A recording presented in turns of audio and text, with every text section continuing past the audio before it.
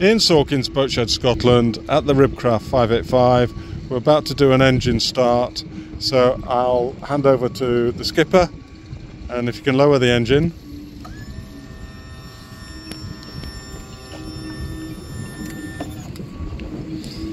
And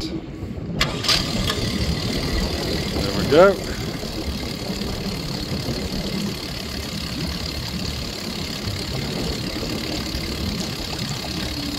There's a lot of wind in the background, but you get the feel of it.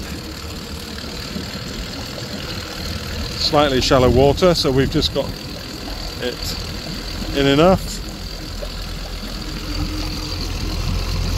You can see the water coming out of it there. If we stop the engine,